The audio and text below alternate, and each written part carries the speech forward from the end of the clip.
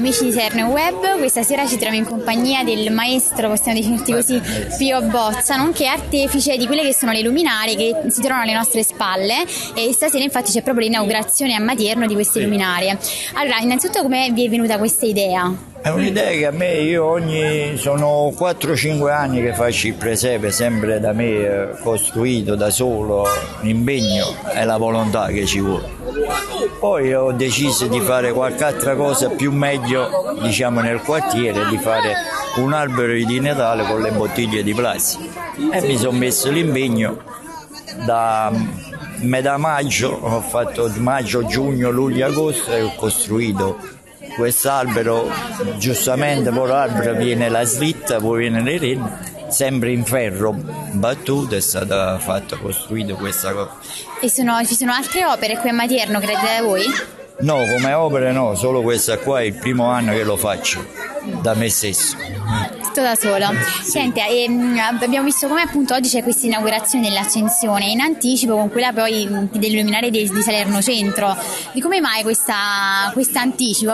No, l'anticipo io pure il presepe l'ho anticipato sempre il 2 dopo i morti, sempre. Allora dopo i morti io l'ho fatto, non è perché l'ho fatto per De Luca, a me solo perché ogni anno che l'ho fatto per il presepe l'ho fatto dopo i morti, il 3, il 4, ma non è niente per sì, perché ricordiamo anche che nel quartiere qui non, non vengono installate le luminarie sì, poi no, che... no, non viene niente qua installato. e, ehm, eh, una curiosità, i materiali che ha utilizzato abbiamo saputo che sono riciclabili, giusto? Sì, sono tutto bottiglie di plastica, sono, è un albero di 4 metri e 20 per 2,50 di diametro, sono 1250 bottiglie.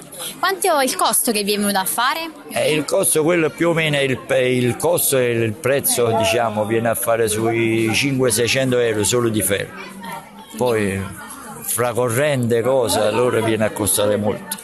Un po' alla volta si fa si fa. Va bene, allora noi la ringraziamo e nulla, vi aspettiamo qui. Comunque, tanto penso che l'accensione sarà fino a insomma sarà tutti i giorni. Sì, tutti il periodo fino all'Epifania sta acceso. Amici di Serno Web, invece adesso ci troviamo in compagnia del sacerdote del quartiere, nonché Don Marco e siamo sempre qui all'Accensione. Oggi c'è un bel momento appunto di riunione proprio per questa, questo evento. Cosa ne pensa lei? Beh, penso che tutte queste iniziative siano comunque da promuovere e lodare perché in un quartiere che spesso sa, surge agli, agli, onori della cronaca per uh, eventi negativi o di cose non proprio positive, vedere un'iniziativa che è tesa a, a rendere bello il quartiere, bella la realtà, credo che sia solamente da lodare e per questo ho accolto volentieri l'idea di benedire anche l'operato di questi nostri amici. Ah, sappiamo che l'accensione durerà fino all'Epifania, giusto? Sì, rimarrà per il periodo natalizio e quindi avremo anche noi le nostre luci d'artista eh, fatte in casa. Una bellissima iniziativa.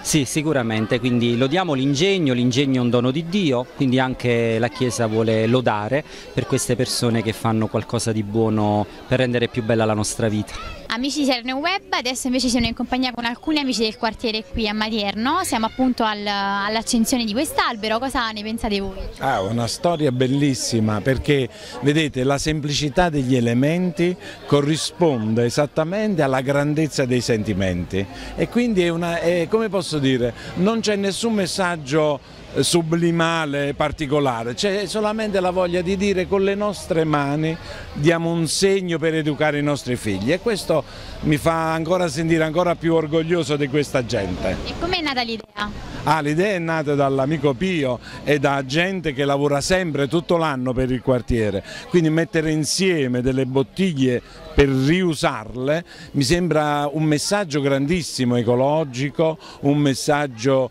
come dire, di economia, un messaggio che ha un contenuto educativo e ci, dire, ci, fa iniziare il cammino di queste feste.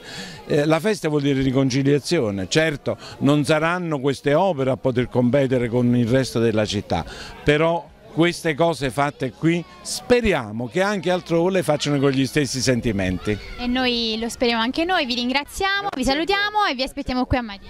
Grazie a voi, grazie a voi.